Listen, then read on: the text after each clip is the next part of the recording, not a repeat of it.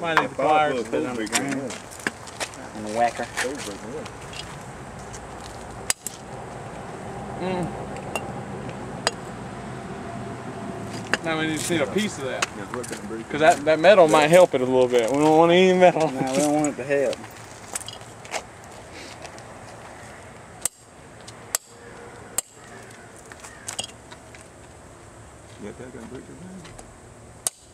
That's what that one dude said, that first night he was here.